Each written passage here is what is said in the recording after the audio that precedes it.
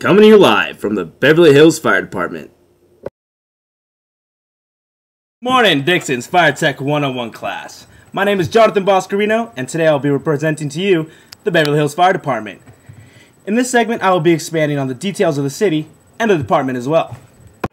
The city of Beverly Hills is located off the 405 between Westwood to the west, West Hollywood to the east, the Los Angeles community of Beverlywood to the south, and the Santa Monica Mountains to the north. This city was originally incorporated in the 1900s as a retreat for the affluent residents of the Los Angeles communities. Beverly Hills is known for its celebrity residents and its high quality shopping off Rodeo Drive. The Beverly Hills Fire Department houses 81 active duty personnel. The head of the fire department's operations is Fire Chief Timothy Scranton.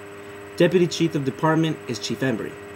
A typical work week for the Beverly Hills Fire personnel is a 48 Kelly schedule, meaning 48 hours on, then 96 hours off. The Beverly Hills Fire Department runs mutual aid with LA County and LA City. The Beverly Hills Fire Department was established in 1913 as an ISO Class 1 department. It protects approximately 34,000 residents and covers about 5.4 square miles. This department runs out of three stations Station 1, the Beverly, Beverly Hills headquarters, Station 2, and Station 3. The Beverly Hills Fire Department responds to nearly 3,000 calls annually, 80% of which are medical. The Beverly Hills Fire Department staffs its apparatuses daily. This department runs 22 total apparatus, including support vehicles. Out of three stations, Beverly Hill runs three frontline engines, two frontline paramedic squads, one frontline BLS rescue, one frontline truck, one USAR, and one battalion SUV. However, this department does staff its reserve vehicles as well. Those consist of three reserve engines, three utility trucks, three civilian vehicles, one RA, and one battalion. Stay tuned for a closer look to the Beverly Hills Fire Department apparatus. The Beverly Hills Fire Department runs three Type 1 frontline engines, each staffed with five fire personnel. These engines are compressed air foam engines, meaning they can carry 500 gallons of water and 50 gallons of foam concentrate.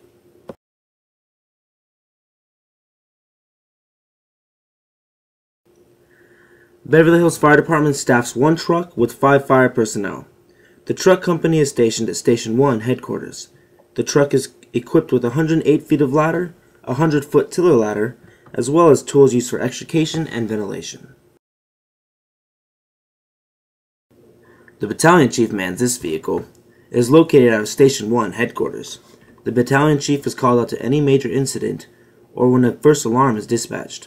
The back of this SUV folds out with radios, computers, charts, and demographics of the city or building. It is used as a mobile command unit. Beverly Hills Fire Department has three medical units 801, the BLS module, Rescue 1, and Rescue 3 paramedically staffed modules. These squads allow for the transfer of a patient with ALS care without the need for the BLS ambulance.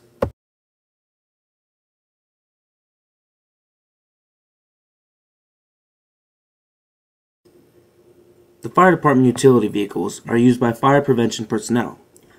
All these vehicles are located at headquarters and are often used as commuter cars by chief officers.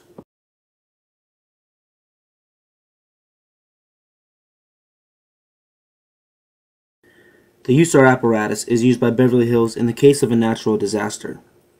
USAR involves the location, extrication, and initial medical stabilization of victims trapped in confined space. USAR 1 is located at Station 1.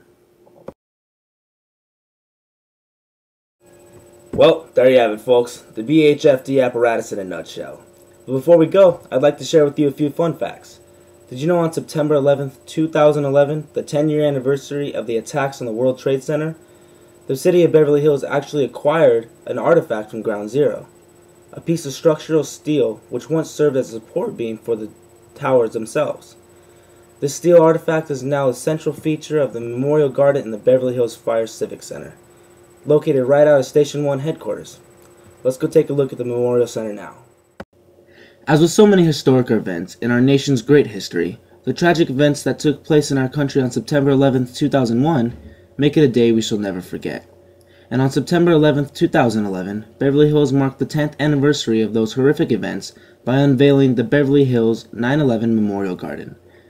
This awe inspiring garden honors all those who were lost, those devoted to keeping America safe, and those who still believe in the created equal and have the right to life, liberty, and the pursuit of happiness.